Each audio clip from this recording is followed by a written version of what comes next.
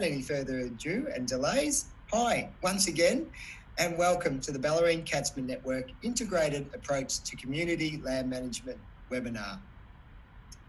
I've just been talking a little bit um, about our day-to-day program. Not sure if anyone's heard that, but now I'm going to get cracking and get straight into it. And I'm very excited, a little bit nervous to be talking to, to such a loud, sorry, a large audience, but hopefully um, you'll get something out of this presentation. So my name is Matt Crawley and I'm the Program Manager for the Bellarine Catchment Network, which I'll also refer to as BCN throughout the webinar. I'd like to start by thanking Landcare Australia Limited and the Landcarer team for this opportunity to present on this topic and the Bellarine Catchment Network model. At BCN, we've been using Landcarer for quite a while now and would recommend you checking it out if you've not done so already. You can sign up at landcarer.com.au. The Bellarine Catchment Network acknowledges the Wadawurrung, traditional custodians of the land on which we work and live, and recognise their continuing connection to land, water, and community. So, a bit of housekeeping first. The presentation will go for approximately 40 minutes, with five minutes of question time at the end.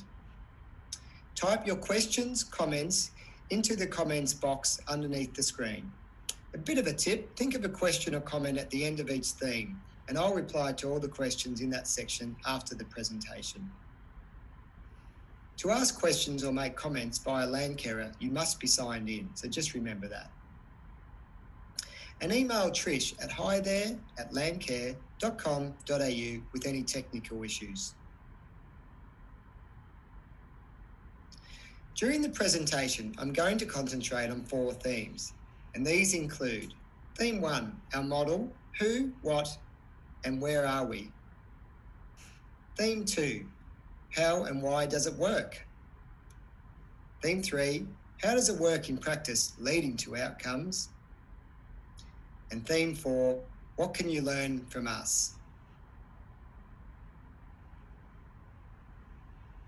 So starting with theme 1, let's look at the following. Where are we? The Bellarine Catchment Network model. What exactly is it? And how did it come about?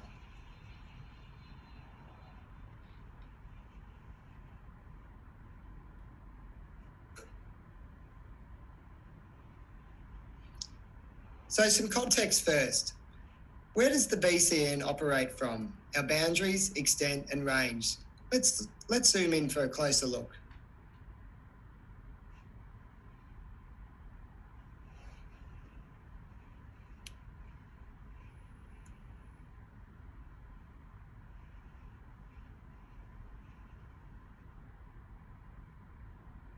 Let's take a look around the Bellarine.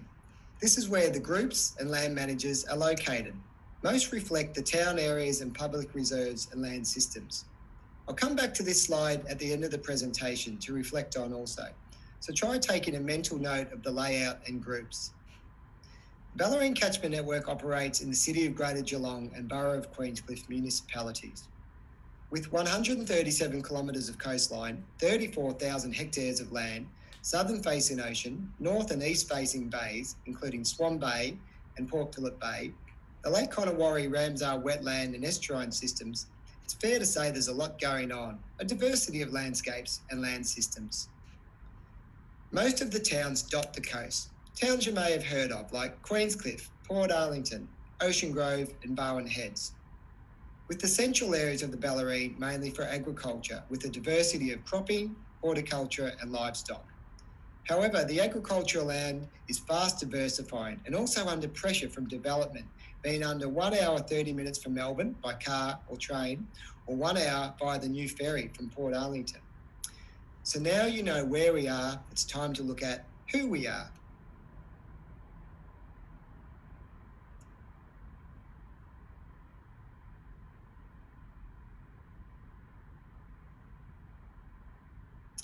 The network is 22 years old, established in 1998.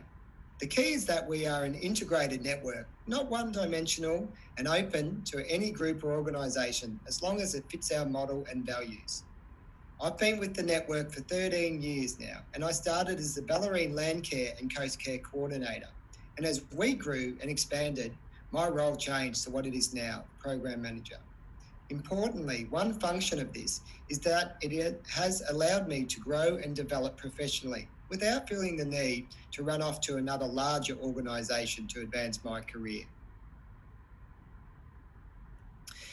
When I first started with BCN, our structure was approximately 20 groups and organisations. We had 1.4 FT full-time equivalents and two, maybe three funding sources. And these were all government grants. Fast forward to now, and we have 32 groups and organisations, increased diversity, six staff with this number set to grow, five FTEs, and roughly 30 different investment streams representing 30 different projects and programs. Again, a lot going on, but in the right way, as this directly equates to more environmental initiatives and outcomes. So, sure, in economic terms, growth is good, but what does it mean for the environment? Well, to me, what this all means is more education and awareness raising, leading to a more engaged, aware, and involved community, and resulting in protecting and enhancing the environment. And that has to be good. Now, let now let's break that previous slide down as there were a lot of names to digest. Roughly this equates to two foreshore committees of management, three non-government organisations, two local municipalities, three state agencies and statutory authorities, 22 community groups, Friends of, Coast Care and Land Care. This model has all the traditional elements of community environment groups, land care, coast care, and many friends of groups. These are the integral part of the network, and much of our efforts go into these groups. However, as we all know, there is value in looking to diversify the model of support and inclusion and look to engage with the non converted groups. Therefore, we started to include neighbourhood houses, community associations, and others as part of the network and this has led to significant partnerships and outcomes from ongoing on-ground works, capacity projects, and education resources. We have added other partners as part of the service delivery, like surf lifesaving clubs, yacht clubs, sporting clubs, and events, CFA, Cemeteries Trust, etc., which are not a formal part of the network, but nevertheless, we've established relationships and partnerships with them all. Many of the non traditional environment groups were looking for ways to become involved as they had built up environment pillars as part of their group or, or organisation. They just didn't know how to get involved and go about it. The BCN invited them into our network and provided opportunities for projects, initiatives, and collaboration. So let's move on to theme two how and why does it work? During this theme, I would like to look at a model born out of necessity, governance and structure, and all sides being equal.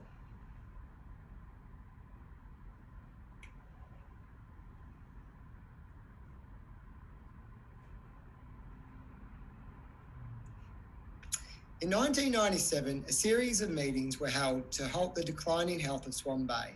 A combination of nutrients, sediments, inappropriate recreation activities, grazing over salt marsh and the shoreline, litter and plastics was affecting the health of Swan Bay. Algal blooms, seagrass meadows in decline, affecting fish nurseries and migratory wader habitat was the diagnosis.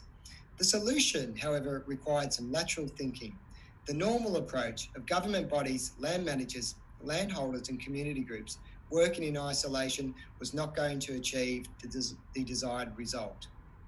An integrated approach was required putting to one side community group and organisation labels, boundaries and jurisdictions to work on a holistic plan. Born out of necessity, but here for the long term, this model continued to grow, now encapsulates the whole of the Bellarine Peninsula and continues to diversify and evolve.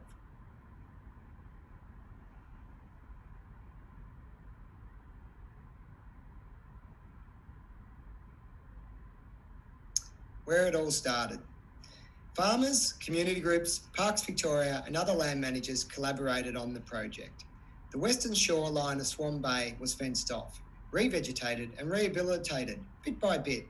Bellarine Landcare Group, Swan Bay Environment Association, Friends of Edwards Point, with the Swan Bay Integrated Catchment Management Committee coordinating the project. It took 10 years to fence off and protect the salt marsh and critical habitat for the orange bellied parrot. The value from grazing this land was marginal, with little nutrient value, but the value to the OBP was critical. This integrated model set up the framework and template for the next 23 years. So now let's delve into governance and structure.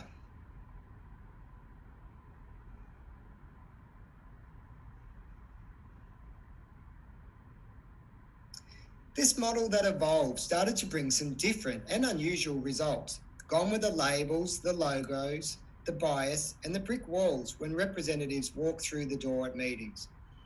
In the past, government bodies and community groups would mainly come together when there was a bit of a blue or a barney about something. Things like who wasn't doing their weeds on one side of the fence, that sort of thing. Now, with doors being open and a spirit of collaboration, the old way of doing things was disappearing the model with government on one side and community on the other was on the way out, and instead, government and community working in collaboration for the betterment of the environment. After all, a bird, a native plant, or a weed for that matter, doesn't recognise a fence or a boundary, so why should we? So, an opportunity had arisen to consolidate this model and seek out other gains for the environment. Having partners such as government and non government organisations provided a support mechanism and structure for officers, staff, and the committee. Examples included HR, IR, financial subcommittees. This allowed for independent advice, exposure to other business models, and representation on these committees. In terms of how the funding model developed, what was really interesting was the split. Less than half came from competitive grants, mainly from government, whereas more than half came from partnerships and fee for service. The majority of this investment is now ongoing or long term with recurrent and multi year contracts. This, in turn, provides security and certainty for program delivery, confidence in tenure for staff, and therefore staff retention. But most importantly, most importantly, reliability for our groups schools, and organisations that we support. I can't emphasise this enough. They can all rely on BCN year in, year out for the ongoing support, whilst continuing to grow our service delivery model. Now, looking at staff and committee structure, we have our committee, the network members, the groups and organisations. The staff made up of the program manager, coastal program leader, environmental projects facilitator, biodiversity officer, communications coordinator, and land care facilitator. And while this next bit is a bit dry and boring, a good governance structure enables the rest of the organisation to achieve increased outcomes in the main game, the environment. Less time is now spent on wasted issues pertaining to HR and IR, etc and more time dedicated to action on the ground.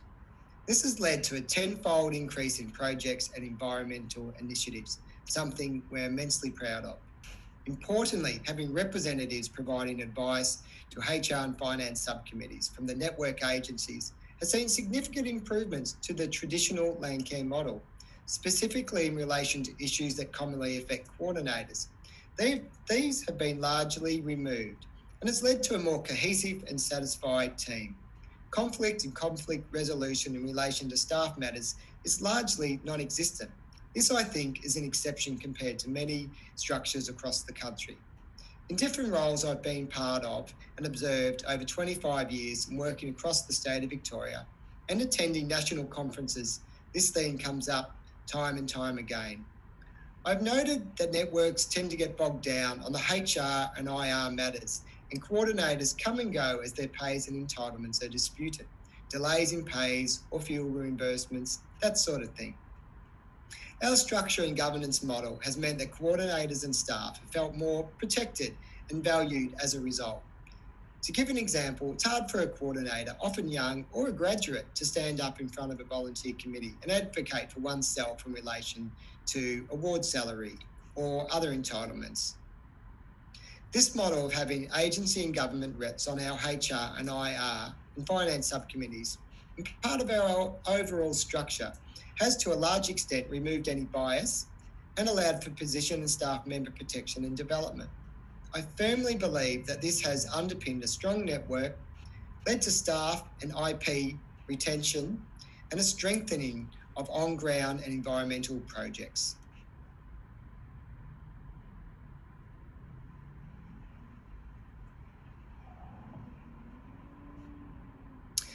However, our model has had to, has had to be adaptable. With such a growing number of groups and organisations, the need to review our operations was and is pertinent.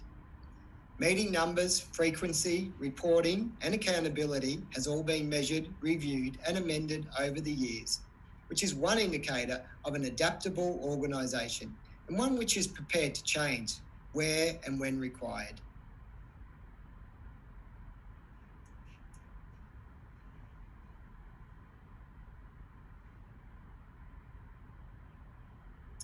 Voting, group sizes, boundaries, etc., have all had their challenges over the journey. However, by ensuring that no matter what the size of the group, the name of the group, and the focus of the group, everyone has an equal voice, and this has led to equality and greater outcomes. The BCN largely has a cohesive approach to the running of the network, valuing and appreciating how each group and land manager can contribute to the local and Bellarine wide environmental initiatives has been the focus, and this continues to the present day. Now, this takes us to theme three with some examples across the community and what are some benefits. And I'll refer to the Bellarine Rail Trail as a really good example of this. This is one example of our many integrated projects. The Bellarine Rail Trail is 30 kilometres trail of connected vegetation across our landscape. With a landscape with over 95% of Indigenous vegetation removed, this linear corridor has enabled many links, connectivity, and corridors to be established. Three community environment groups have a stake or interest in the rail trail with initiatives and working together has allowed many projects to flow. Other examples include the Bridal Creeper Leafhopper and Rust Fungus Project and Caring for Our Bays programs.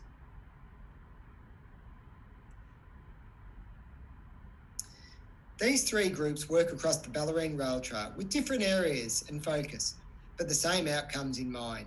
This one site, close to Swan Bay Ramsar wetland, has seen all the groups contribute over the years with restoration and rehabilitation works.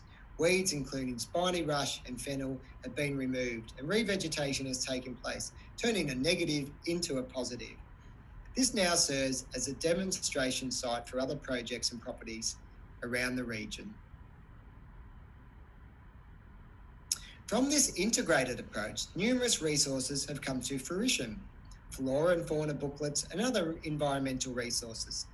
The booklet on the right, Discover the Real Ocean Grove, was a result of one of the non traditional groups leading this project, with the Ocean Grove Community Association providing funding and support. Other groups, including Ocean Grove Coast Care Group, Friends of Ocean Grove Nature Reserve, Friends of Begola Wetlands, Barwon Estuary Project, Barwon Coast Committee of Management, and City of Greater Geelong, all collaborated, and the result is this highly valued publication with 3,000 copies running out the door and out of print within the first three months, requiring an urgent reprint to meet demand.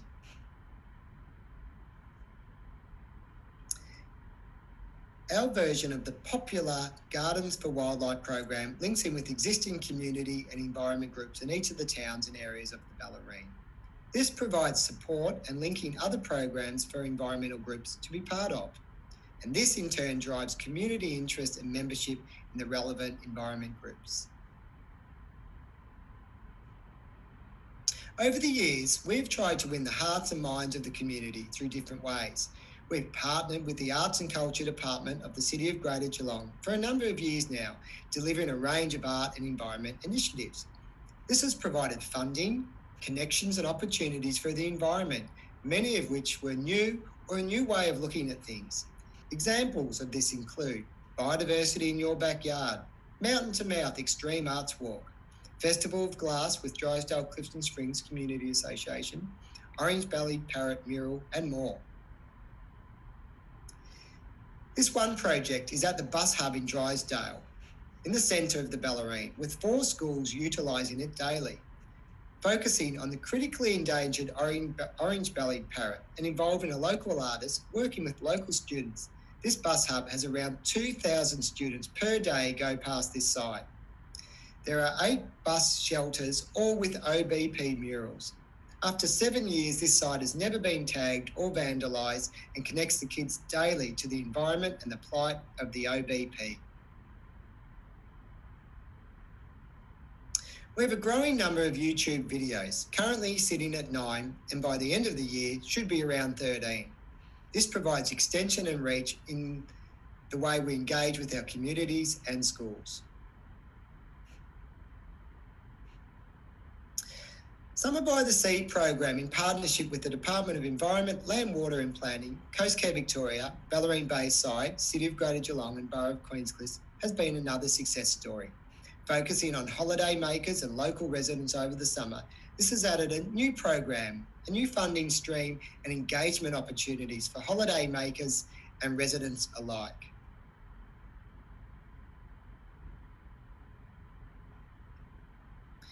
Surf clubs and nippers environment sessions. Partnering with the local surf clubs has led to more opportunities also. With a captured audience in an established, well loved, and well respected program, we've been able to engage with hundreds of nippers per year in environmental themes. From themes like don't play in the dunes through to litter reduction and protected species like hooded plovers. The nippers receive a fun, interactive program linking the beach and foreshore with the marine environment. Their primary focus is on preserving lives and how to stay safe on the beach and in the water. And now we've added how to look after and protect the coastal environment. This was a simple and effective fit, valued by all. In the early days, it was us driving the interest with the clubs and the nippers. Now it's the clubs that come to us first to lock in dates and activities for the following year a true indication of the value the surf clubs place on this on these activities.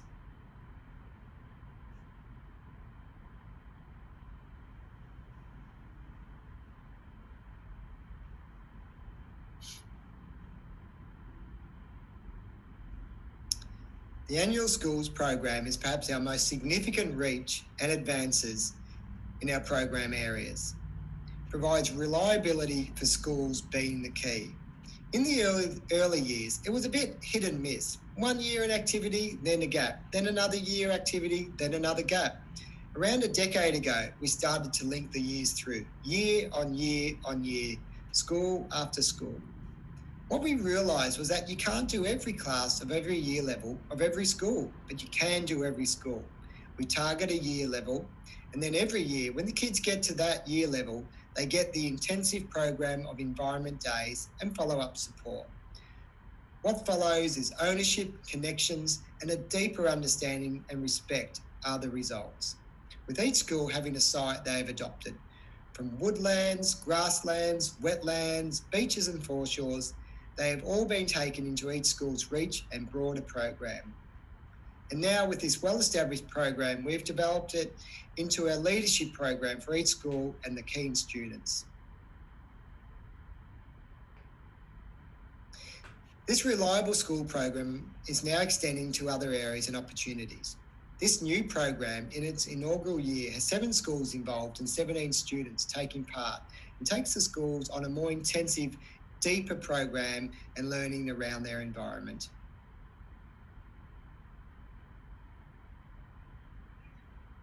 Iconic locations, places, and photos always helps with inspiration, grants, and funding.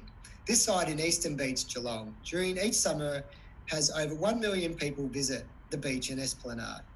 We are able to leverage from images like this, building the connection with schools and community groups to access grants and awards. Caring for Our Bays and Litter Hotspots is another program that did not exist pre 2010. Being open to, to new initiatives, new partners, new investors had led to significant outcomes for BCN.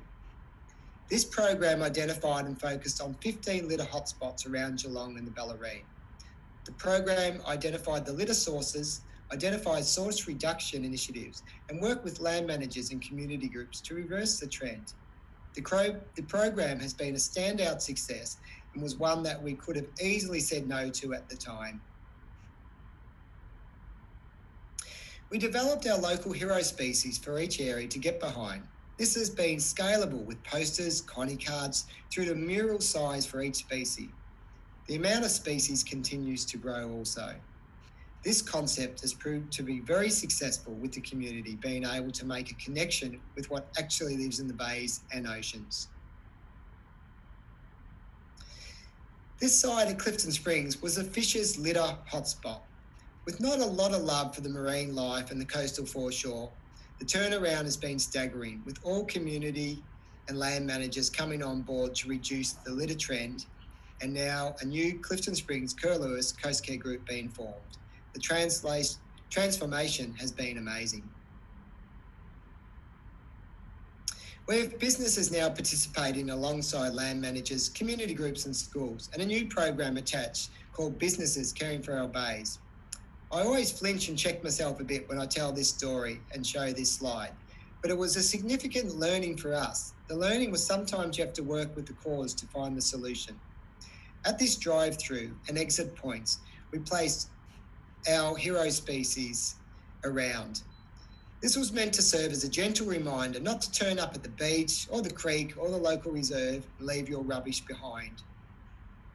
At the creek adjoining this facility in North Geelong, where litter from the known restaurant was high, bit by bit the numbers decreased. And as you can see from the trend line in the graph, and the brand that partnered with us with the signage was less prominent when we did our litter monitoring and pickups. Interestingly, at the same location, another very famous restaurant was approached to be part of the program, but they declined. Their litter amount, however, did not decline at the site we monitored. The lesson for us, it took many, many, many meetings to get this over the line. Initially, they were protecting their brand and scared of repercussions, but they came on board and now are strong advocates for the program. Officeworks were a similar example. Initially, there was hesitation to get involved, then partnerships formed with BCN, as, and a significant reduction in litter resulted from car parking tickets by simply putting a bin on the right hand side of the image you can see there, through to packaging and cigarette butt bins. Overall, of the 14 litter hotspot sites, we have seen a trendline reduction of litter across all sites. This trend is being maintained with all sectors land managers, community groups, recreational users, schools, and businesses playing a role. and the reach just keeps on continuing to grow. From music festivals to sporting events, BCN is present, giving the environment a voice. From swimming races around the bay, removing the use of single use plastics, to Queenscliff Music Festival, who significantly reduced the waste going to landfill and are nearly completely reusable. This has been the result of engaging with the events sector.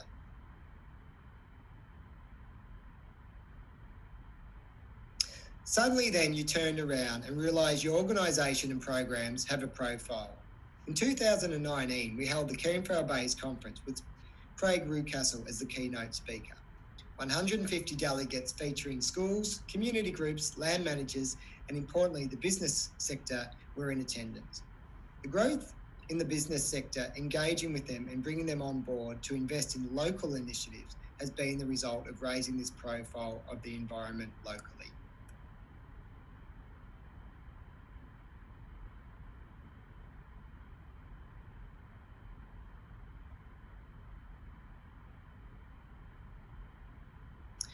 We are all familiar of the reporting merry-go-round. Apply for a grant, get the grant, try to deliver the project with a small amount of project management funds, and then report using the usual reporting template, which rarely sells the story of what has been really achieved. All this applies to us, but with one difference and addition. Each activity, event, and project receives an additional report on top of the usual reporting template from the investor. This report is image rich with a short narrative and combines figures. This simple yet effective additions has led to greater confidence from our investors and in turn, no doubt, led to more investment. A minor change with a big impact.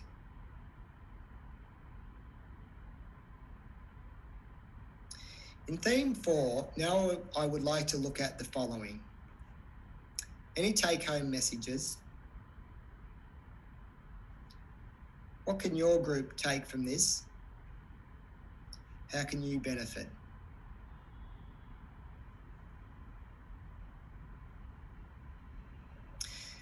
This is where it all comes together. This integrated model of community groups and land managers have allowed invest investment opportunities of a broad and interesting mix, as well as reliability of funding, has led to different groups and organisations increasing their environmental initiatives. With the diversity of partnerships, this continues to bring success. Often one partnership will lead to another. And the word of the BCN as a service provider, leader in education and engagement, becomes self fostering. By spreading the risk, this leads to a more robust model of delivery. It means you can plan ahead for the following and sometimes multiple years with confidence rather than planning for just one year, one year at a time. The realisation around a decade ago that the government funding model was decreasing and becoming more competitive led the BCN to diversify. This remains the case today. Local, state, and federal grants of funding will always play an important role. But a model reliant just on this is risky and does not allow for bold planning for projects, confidence with service delivery, and retention of staff and recurrent projects.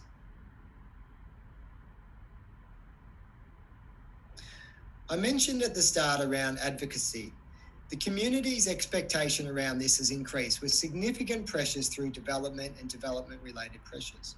These circles represent current growth areas. The communities rely on the BCN and other groups to advocate on their behalf, and we need to continue to be adaptable and flexible as the issues, threats, and demands change.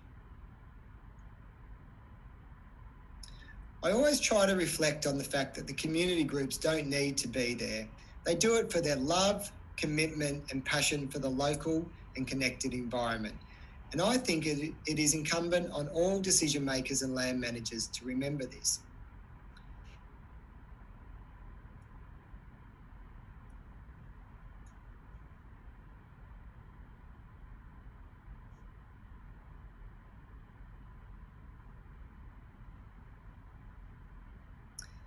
Imagine just for a moment if they had all had enough one day and shut up shop and they weren't there.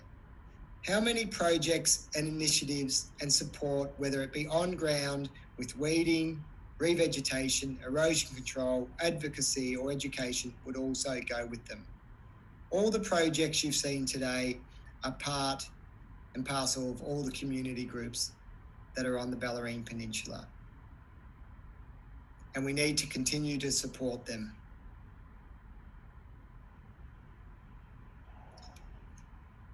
At the outset, I wanted to make clear that this model is not for everyone. All groups, networks incorporate what works for their areas. They're tried and they're tested and meeting the needs and demands of that area.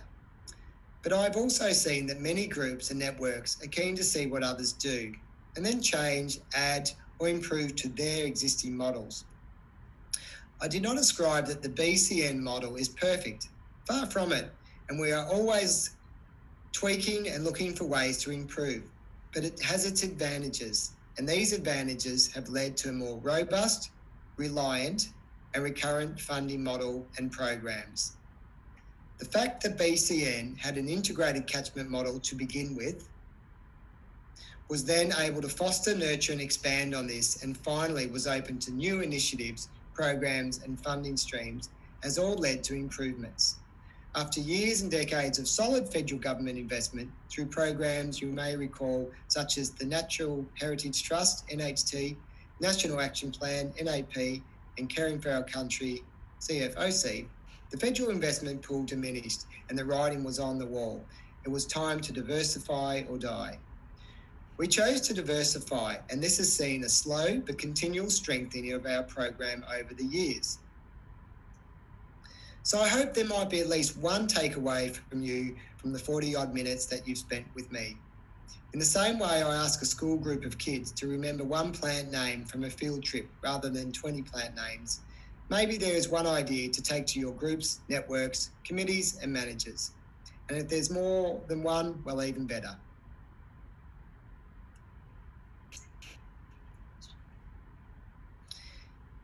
Just before I make some acknowledgements, if you have any questions, feel free to lodge them now and we'll allow a few minutes at the end to answer them. I'd like to finish up with a few things. Firstly, some acknowledgements. Mr. Graham O'Leary, the President of Bellarine Catchment Network. BCN Committee, Graham O'Leary, Margot Bush, Michael Skinner, Jane Morrow, Heather Williams, and Peter Smith. BCN staff, Angie Poole, Lachlan Forbes, Sophie Small, Naomi Wells, Rebecca Saitledger. Naomi Wells for presentation layout, design, communications, and IT support. And the land care team of Trish O'Gorman and Rowan Anto. To contact us, go to the following social media and website.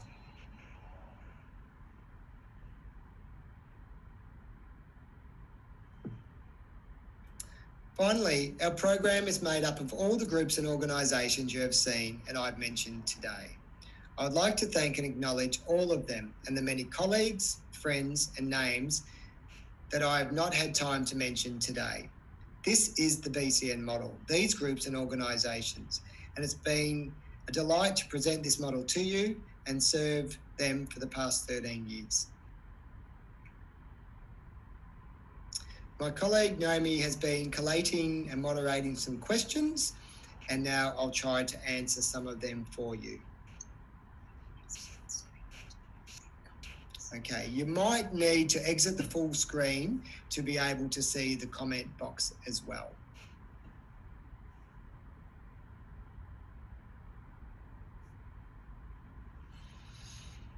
Okay, I'll just take a moment to draw breath and um, take a little sip of water.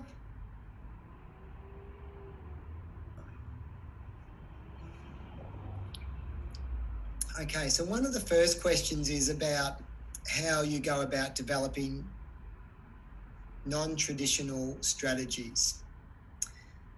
So that's a really good question, and there's probably a, a number of ways to answer that. In terms of the um, the community groups, as being non-traditional. I guess it was a mixture of different community groups coming to us and asking how do we get involved in the environment? How do we get involved in a tree planting day or something similar? And as I mentioned, they could have been neighbourhood houses or community associations or CFA or scout groups, whatever the case might be. And I'm sure in many of your areas you have similar examples. And I guess it's depending on your landscape where you are. For us, as I mentioned, we're by the coast, so we have surf clubs, so we can engage with them as some of those examples. If you're inland, you might not have that, but there might be another other well-established community group that you can link in with. And I suppose the point that I try to emphasise is that's added to our organisation by opening our doors and allowing them in. We've diversified, it's brought in more opportunities, and again, um, we're not always just preaching to the converted, which is um, rewarding, and you're certainly able to get more done.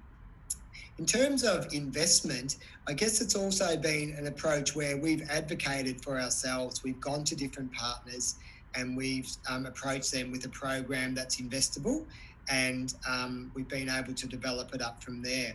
It often takes a slow approach, um, a little bit of skepticism to begin with, a bit like a door-to-door salesman, sort of you're a bit conscious of selling your product.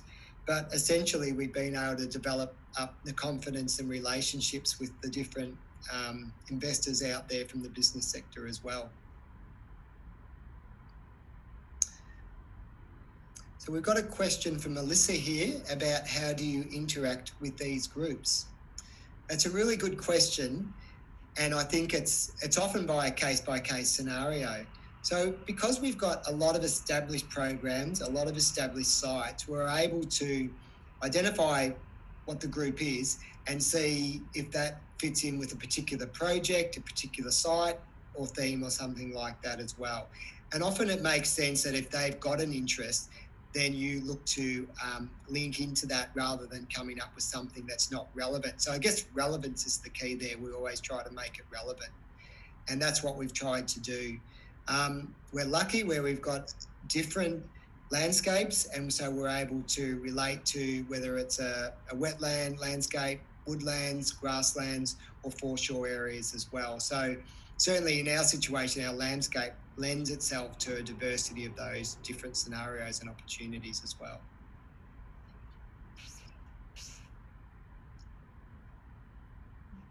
Sorry, I'll just pause for a moment. Okay. So interacting with the 32 groups is a challenge, and that number's grown as we've had other groups um, develop as well. I guess that gets back to that that structure of running our our meetings, etc. So we have two representatives from each of our 32 groups and organisations that um, attend meetings and are the representatives from those groups and organisations. We're not, our structure doesn't um, look for members like a traditional group might be that are trying to um, always, you know, get more members. We have the, the group that becomes the member and then they determine who the representatives are that come along to the meetings. And then really it's about it's really our meetings are about information sharing developing projects and initiatives from there. And many of the examples that i presented today can't fall out of those meetings and those formats as well often there are challenges there's still debates around a range of you know difficult topics but more often than not that's where the programs and projects evolve from and I guess that is one of the main purposes of that network and that structure. It's that coming together, that sharing, trying to leave, you know, um, bias or whatever it might be at the door and collaborating that way. And again, as I mentioned, that's that's our model, and I'm sure that type of model exists in many other, you know, um, regions around the country, and no doubt many people that are listening to this have forms of those structures as well. But um, the key is, as I talked about, it's the diversity. Um, everyone's welcome as long as they, you know, they fit in with the values. Um, but it's certainly enriched our organisation in so many ways. It's made it more also interesting, a little bit more challenging at times, but certainly um, more productive for the environment. And it always comes back to how is this project or this group or this initiative going to protect, enhance, improve the environment? And that's the measure of, um, you know, involving other groups as well.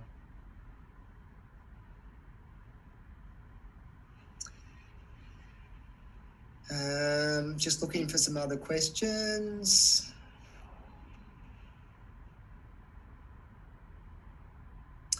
So we've got a question around from Janet around what kind of office space do you work from and do you share with other networks or groups? So our office space is quite interesting. It's a bit of a story, but I'll try to uh, summarise it very quickly. It's actually an old CFA building that was donated to Bellarine Catchment Network. So we actually um, uh, we actually own our own building, which gives us some some confidence in terms of planning around the infrastructure needs that we have. We have um, an on-ground work shed where we have our trailers and um, different on-ground works um, resources. And then we have our, our staff room area where we have our meetings and our staff sit. We have um, Bellarine Catchment Network and Bellarine Landcare Group um, staff that work out of this centre, but we also have hot desks that um, people from other organisations can come and work out of as well. And because we're centrally lo- located and because of our network structure, often other organisations hold meetings here because it's just convenient or it's central as well. So, um, yeah, that's a quick answer to that question of where we operate out of.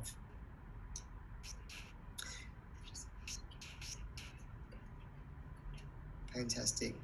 So thanks to Naomi Wells, who's helped uh, with the moderating of the questions. And I've just been asked to say that everyone will get a link of the recording. So you'll be able to um, go to that link and go back on any of the information, some of the links to um, websites and YouTube and the like. And also encourage you to connect with Landcarer and connect with myself and the BCN uh, team around any follow up questions, etc. There's so much more, of course, I would have liked to have said and could have expanded on, but there's opportunities to dig a little deeper on any of those projects.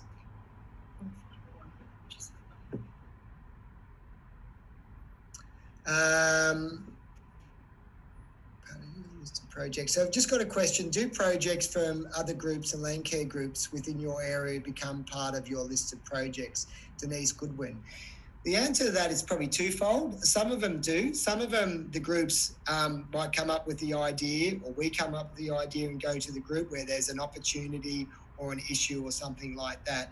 And we often will run it on behalf of the group if it's got a technical aspect or requiring resources. And then it becomes a bit of a combined project. But all the groups that I listed, and of course the organisation that have land management responsibilities, their own responsibilities, but particularly the community groups, they're running a whole range of other groups, I'm sorry, of other projects alongside. Every group's active in different ways. Some have more of an on ground focus, whereas some might have more of an education focus. But they all have numerous other projects on top of the ones that we listed. I guess the ones that I've listed have more of that spread across um, clusters of groups or geographic areas and quite often across the whole of the Bellarine as well. And that's our model because, of course, we're a network that's sort of spread across all these groups and areas also. So I hope I've answered that one um, to some degree for Denise there as well. So once again, I just like to really thank um, Landcare Australia Limited and the Landcare platform and everyone that registered for the presentation and took time out to um, to listen to me uh, bang on for 40 minutes or so. I've enjoyed the opportunity to talk about our model, and as I said, I just hope there might be something that's of value that you can take away to help to advance your cause for your networks, groups, and organisations. And thank you once again, and goodbye.